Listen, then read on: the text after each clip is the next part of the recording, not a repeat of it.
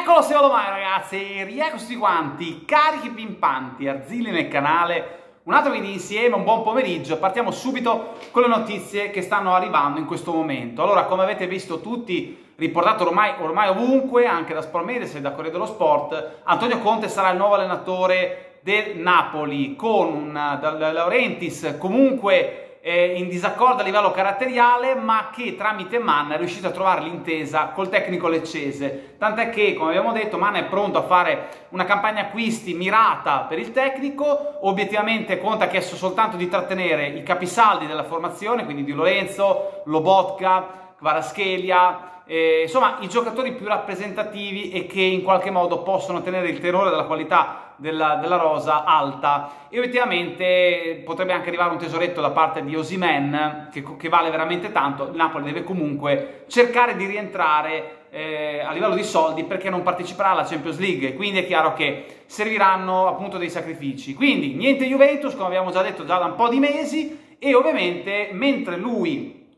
andrà al Napoli con la richiesta di Chiesa, con la richiesta di portare anche Lukaku e vedremo quali altri giocatori per ambire allo scudetto, con ampi bonus dovesse riuscirci, penso addirittura 3 milioni per arrivare in Champions League, quindi tra le prime 4 barra 5, seconda del ranking, e poi 2 milioni di bonus extra anche se dovesse vincere lo scudetto. Quindi è chiaro che il dado è tratto. Motta, dal canto suo, sarà l'allenatore della Juventus con ogni probabilità, lo diamo sempre al 99,9 fino alla firma, ma ovviamente manca soltanto l'annuncio e l'ufficialità, come ha anche rivelato Gianluca Di Marzio. E in questo momento non è la priorità quella di far firmare il tecnico o annunciarlo, in men che non si dica, perché, come sappiamo, il ritiro eh, estivo comincerà il 10 luglio, mentre il raduno proprio nei primi giorni di luglio. E, e poi la Juventus andrà proprio con l'allenatore facendo tappa nella sede dell'Adidas in Germania, proprio per fare diciamo, l'ultimo ritocco della preparazione proprio con lo staff che si porterà dietro Tiago Motta da Bologna e quindi diciamo che c'è una programmazione bella certa e bella sicura fatta da Giuntoli e da tutto lo staff con Tiago Motta. Come abbiamo detto, in questo momento perché non è la priorità eh, fare l'annuncio di Tiago Motta? Perché l'allenatore oriundo in questo momento si sta godendo il meritato riposo eh, facendo un viaggio in moto con la moglie per andare a trovare le tre figlie in Portogallo, quindi farà un bel, una bella escursione fino andando in Portogallo e a Lisbona firmerà il suo contratto. Quindi, come ho detto, ha già le documentazioni, le carte no, per firmare questo triennale 2 più 1 che lo legherà alla Juventus, vuole un attimo staccare la spina, ricaricare le pile dopo una stagione straordinaria ma anche carica no, di adrenalina e poi una volta fatta la sua vacanza è tornato in bello stile a Torino andrà alla Continassa proprio per cominciare la stagione. Quindi ecco, come abbiamo detto, non c'è più nulla da nascondere. E Tiago Motta ha espresso l'intenzione chiara e tonda di unirsi alla Juventus e come ho detto è una scelta da un lato molto coraggiosa da parte di Giuntoli perché crea uno stacco enorme col passato anche a livello di mentalità, però allo stesso tempo anche una scelta che secondo me potrà essere ripagata in futuro. Come abbiamo visto non ci saranno grandissimi acquisti,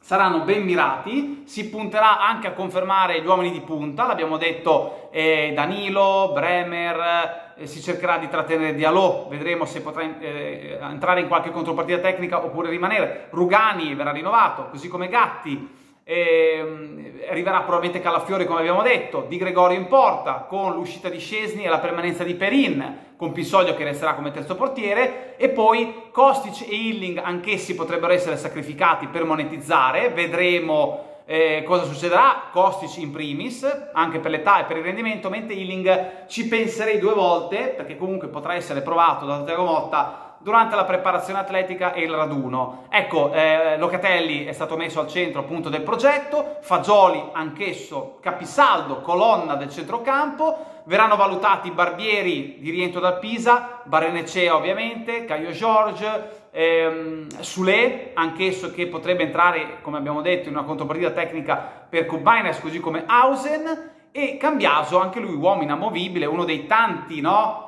Eh, che eh, è stato veramente ehm, rinvigorito dalla cura Tiago Motta già dal Bologna. E ecco quindi insomma diciamo che si stanno mettendo a posto anche vari tasselli. Miretti e Nicolussi verranno valutati perché anche quelli non sono sicuri al 100% di rimanere nel roster della Juventus. Il Diz intoccabile, Vlaovic pure verrà valutato Ken, che potrebbe andare in uscita, vedremo dove, in Spagna, in Premier, in Liga, vedremo dove. Milik potrebbe a sorpresa essere confermato perché è un giocatore molto tecnico e che potrebbe assorbire anche i moduli di Tiago Motta. E qui ecco, poi rimane questo rebus di Chiesa, come abbiamo detto non ci sono garanzie, certezze che eh, appunto sia già stato scartato perché come avete visto sono soltanto rumors giornalistici, però era doveroso comunque esprimere l'opinione da parte mia e poi far trapelare quello che hanno detto certi giornalisti, ma soprattutto penso Zazzaroni e pochi altri. Di sicuro i giornalisti di stampo juventino ci vanno molto coi piedi di piombo in questa situazione perché, come abbiamo detto, finché sono voci di corridoio eh, oppure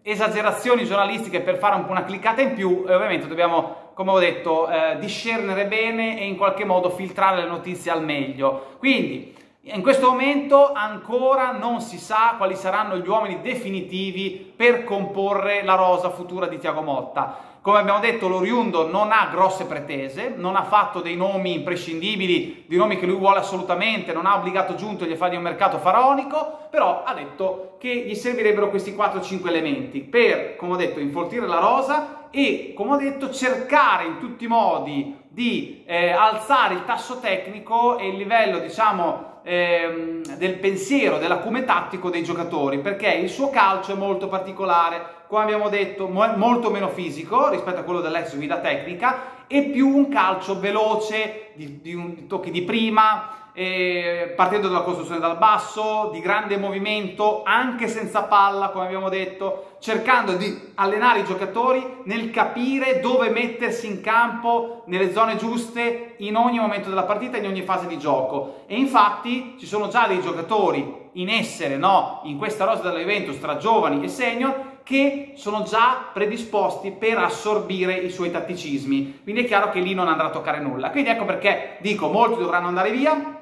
perché non sono ritenuti idonei a, a stare alla Juventus e, e molti arriver, arriveranno. Chiaramente, come ho detto, non ci si aspetta il pagamento di cartellini di alto livello, quindi scordiamoci che la Juventus possa in qualche modo buttare sul piatto 80 eh, milioni come fece per Vlaovic, 85 come fece per Delict, che metta 60-70 milioni per Cube Miners di sana pianta facendo uscire dalla cassa liquidità, lo potrebbe fare soltanto con quei valori di cartellini aggiungendo delle contropartite tecniche. Ecco perché in questo momento Giuntoli e poi i nuovi dell'area sportiva stanno lavorando in maniera molto maniacale per inserire contropartite tecniche abbassando il, livello appunto del valore dei cartellini dei giocatori interessati che abbiamo. Ditemi la vostra, bel pollicione alto alto, iscrivetevi al canale e attivate la campanella. A presto come sempre, Forza Juve fino alla fine.